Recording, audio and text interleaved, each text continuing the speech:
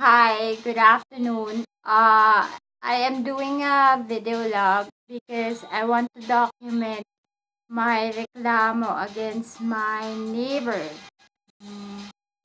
There are this bunch of people uh, in front of my house who recently decided to put a small manufacturing company in a residential area.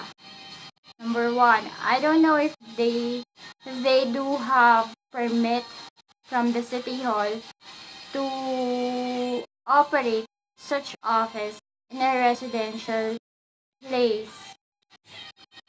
Number two, they are very noisy daytime, afternoon, or even in the wee hours of the night. Number four, uh,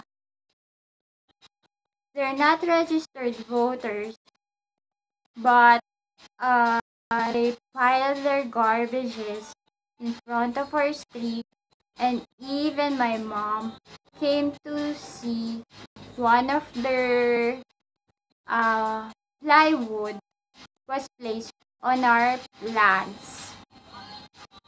She had to actually carry that plywood in beside their apartment house. Another thing, I don't know if they pay taxes for their apartments that they are actually renting out. Then, or right now, I don't know if they uh, are liable taxes at the city hall.